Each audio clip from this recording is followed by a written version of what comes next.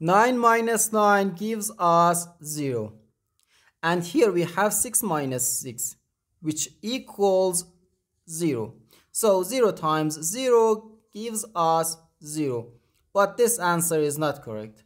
Because according to the order of operations, first we have to do parentheses, then exponents, then multiplication or division, and finally addition or subtraction. Remember that multiplication and division have equal priority and we have to work from left to right. And the same applies to addition and subtraction. In this expression, we have two subtractions and one multiplication. According to the PEMDAS, multiplication has higher priority than subtraction because multiplication comes before subtraction. So here, first we have to do this multiplication, then this subtraction, and finally this subtraction. If we do this subtraction or this subtraction before this multiplication, it is wrong.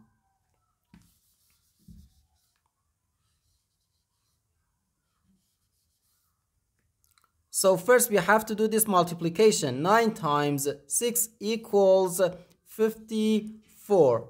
So we have 9 minus 54 minus 6.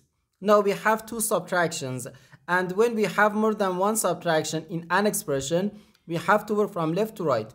So here first we have to do this subtraction. 9 minus 54 gives us 45. So 45 minus, excuse me, negative 45, we have here negative 45.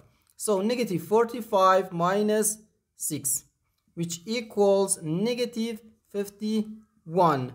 And this is our final answer to this problem. The correct answer is negative 51.